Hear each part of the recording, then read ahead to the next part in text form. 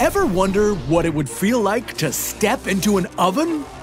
Welcome to Death Valley, California. Temperatures here can climb to a scorching 54 degrees Celsius, which is as cozy as the internal temperature of a steak. In Death Valley, it's so hot you could fry an egg without a stove. But how soon would you get fried yourself?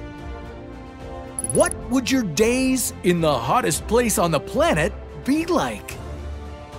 What could you do to survive this intense heat? And what could happen to your body if you weren't careful?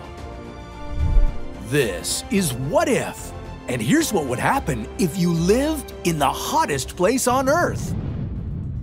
It's so hot you can barely breathe. This national park that stretches across California and Nevada might as well be hell on Earth. Located 86 meters below sea level, it's the lowest point in North America. And the surrounding mountains trap the superheated air like an oven. For five months of the year, temperatures hover around 48 degrees. You'd think that life there would be unsustainable, but it turns out that Death Valley isn't always dead. It comes to life in the spring as colorful wildflowers bloom and the temporary lakes fill the lowlands. And besides the tourists visiting the park, around 500 people live there all the time. So pack your bags, you're moving to the scorching hot desert to join them. Life in Death Valley would be very different from anything you may be used to. Not just because of the heat, but because it's quite a commute to, well, anywhere.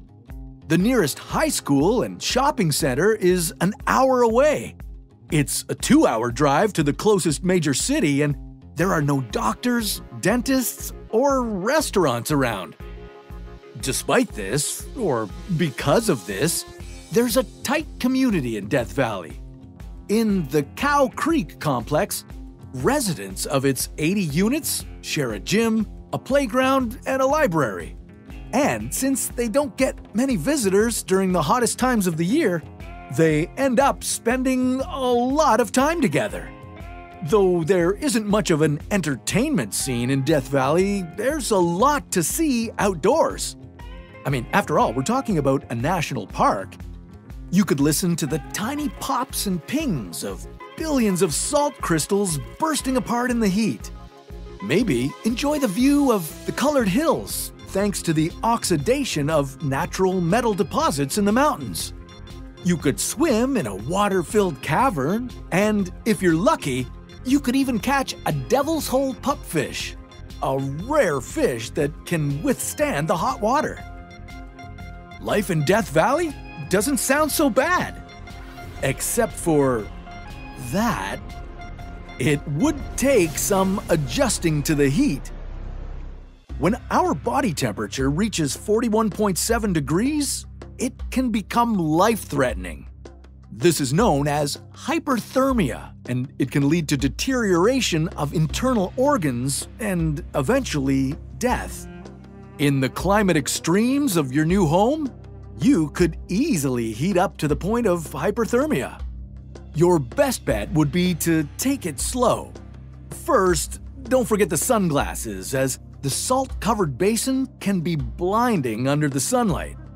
Make sure you always have sunscreen and protective clothing and avoid staying outside in the warmer hours, usually from 4 to 5:30 p.m. If you don't want to die of hyperthermia, you should prepare before you even set foot in the desert. Your ability to survive in a hot climate is largely determined by your body shape and size. That's because heat is a byproduct of cell metabolism. So, larger animals with larger bodies and more cells typically produce more heat.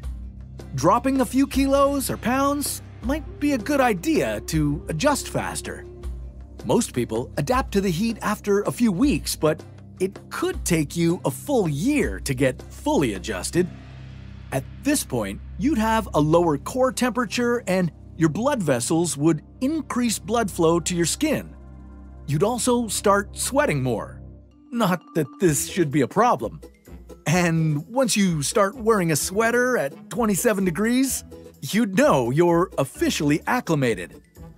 At least to the warm season. During the winter months, the maximum temperature is around 15 degrees Celsius during the day and as low as minus 1 degree during the night. Which makes me wonder what would it be like to live in the coldest place on Earth? Well, that sounds like a story for another What If.